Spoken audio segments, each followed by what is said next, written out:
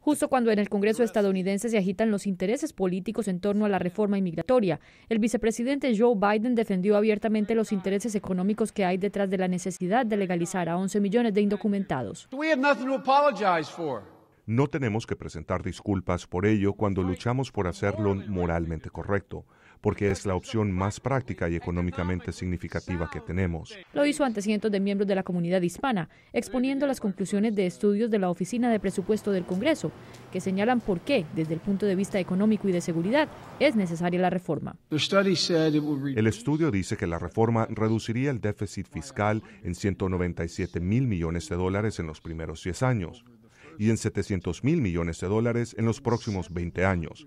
Ella también incrementará el Producto Interno Real en 3,3% en los próximos 10 años y 5,4% en las dos siguientes décadas. Al tiempo que el vicepresidente exponía sus argumentos, legisladores republicanos movían en el Congreso un compromiso en el que condicionan su apoyo a la reforma migratoria al nombramiento del doble de los efectivos que vigilan la frontera con México. Esto a pesar de la urgencia que tiene el Partido Republicano de reconquistar el voto hispano y en esto la reforma inmigratoria es su clave. Solo cuando garanticemos un sistema efectivo de seguridad fronteriza podremos mirar qué decidir sobre las necesidades de los 11 millones de indocumentados con dignidad, respeto, compasión y justicia.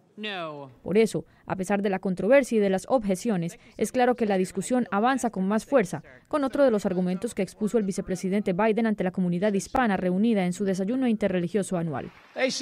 Los estudios dicen que la reforma ayudará al sistema de seguridad social para las futuras generaciones, inyectando 2 mil millones de dólares al fondo fiduciario, solo en los próximos 10 años. Y mientras en la Casa Blanca el presidente Barack Obama se reunía con representantes de la bancada demócrata de Senado y Cámara para redefinir la estrategia hacia la consecución de la reforma inmigratoria.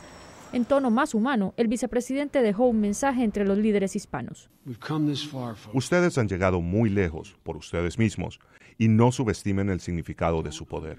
Lina Correa, para La Voz de América.